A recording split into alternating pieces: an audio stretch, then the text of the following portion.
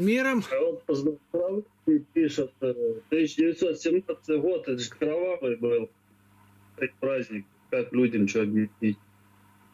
Володя, подойди сюда. Что-то как-то волнами идет голос. Еще раз повторите.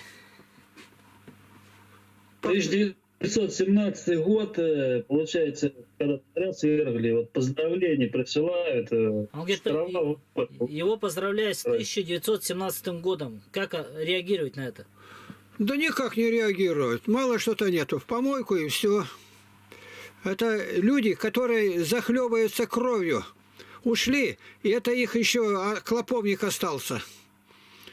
Более кровавого не было на земле. Самых лучших людей поставил сатана истребить. Ни Чингисхан никто не трогал тружеников земли. Ни Гитлер, ни Наполеон, ни Мамай. А это раскулачивание. 12 миллионов самых лучших тружеников объявили кулаками, убили. Голодной смертью, самый тяжелый и страшный, Златоуст говорит. И они празднуют. И все это оттуда.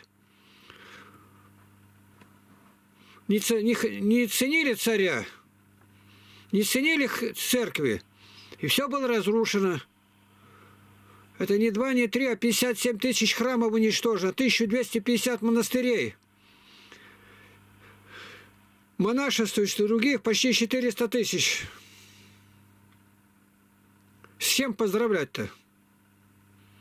Это люди-то, бандиты, разбойники, а он поддерживает самых гнусных людей.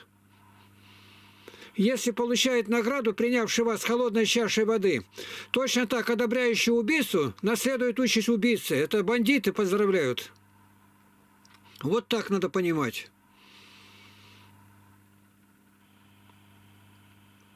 Слушаю дальше. Ага. Вы хорошо поняли, что я сказал? Да, да, конечно. Это проклятое семя змея, сатаны, вползает в жилище людей. Зюганов, других, там, Бен Ладен, их давно надо на скамье подсудимых, говорит, официально, как Нюрнбергский процесс.